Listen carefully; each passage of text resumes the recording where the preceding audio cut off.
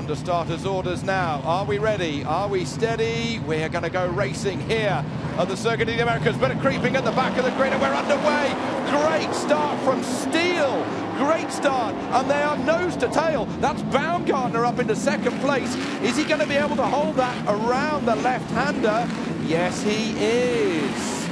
So, oh, and he climbs him, and he's all over him does Baumgartner go over the number nine of Runyon Jr. and that gives a fantastic opportunity for Steele to streak ahead. And he's going to pull away. And we got one car that was spun out there. Hopefully he can get turned around at the hairpin and back into the fray. But wow, that was quite an interesting start. They all again trying to cram into that very narrow dirt section and get through that hairpin. And we saw the contact occur there.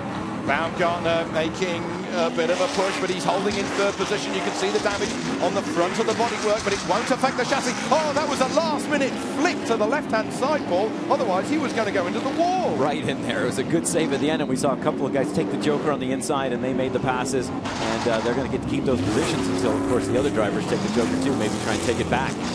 We got Lopez in first and Steele second with Harlien third, and oh, all sideways off the jump and spinning out so Lopez leading this one after he took the Joker on that last lap.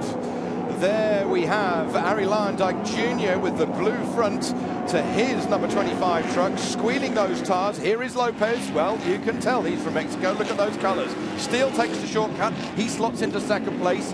Then next over the line, we are going to get, is it going to be Harlien? Yes, it is, but some 3.8 seconds back of the leader, Lopez. See him trying to get around that hairpin. It's really tricky. There's a big mound there in the center of it, and that tends to bicycle. The truck's putting him up on two wheels. So they've got to be kind of tippy-toe around that thing. Be really careful while trying to line up the jump. But look at these guys. They're getting very racy back there, trying to get up the inside.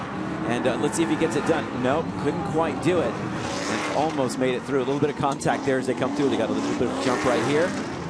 Harlien in the yellow truck, number 77, the white one, that's Brooks as they go around the outside. Nick Baumgartner, he takes the Joker, and he really makes some space up onto those guys. Oh, and they go dive wide. the inside. Oh, that's a tremendous opportunity for Baumgartner. He's trying to put the power to the ground. No traction control, and he's mowing the bales. He's mowing, and Baumgartner could go through, and he's just about going to do it. Not quite. Brooks has a moment.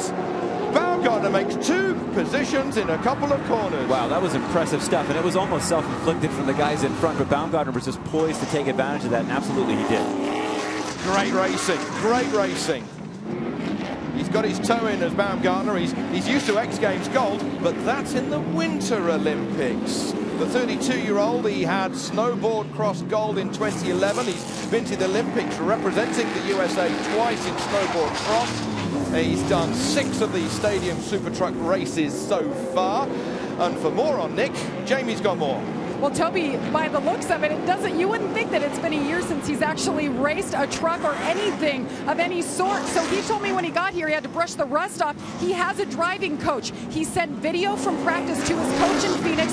He sent him a bunch of notes of all the things he was doing wrong. He fixed him this morning in qualifying and came out qualified fourth. His confidence is up.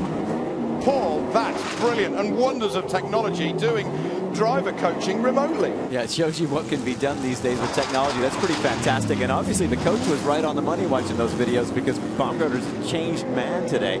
And uh, he's been shot out of a cannon. Look at this racing we've got going on here. It's not over and the 77 going right back by him again. Jarrett Brooks going through through the quick right-hander. We've seen so many different lines through that quick right-hander on uh, the Grand Prix circuit onto the tarmac, but with our half-mile course, it gives these guys an opportunity, some to slide, some to struggle with the understeer, but Nim, Nick Baumgartner, look at him through that clear visor on the left-hand side as we're riding on board with him. He's hardly blinking. Yeah, Brooks got pretty sideways there, but we can see if Baumgartner's going to take advantage and maybe close up a little bit. Remember, the top eight are going to transfer, but they're all fighting right now for starting positions in the final.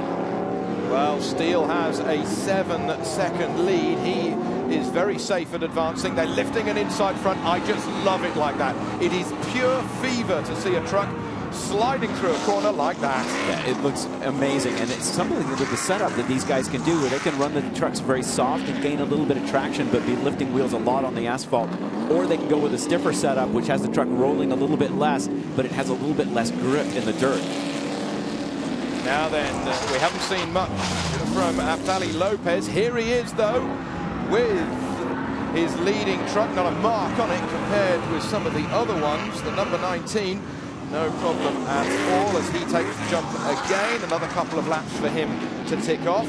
Well, if he wasn't in the driving groove after doing the Baja 500 yesterday, nobody would. Yeah, he's he's very, very dialed in, and, and we've got uh, Steele right behind him, so it's not quite over yet. These guys are quite close, and we could see, a race to the finish. We've still got another lap to go after this. And uh, Scotty Steele at just 16 years old there in second place. That means that it is again the top three, all teenagers. My goodness me. Paul, it's all over for us, isn't it? I think I think it is. I think it is. Here's the final lap. It's almost all over for them. Let's see if they can hang on.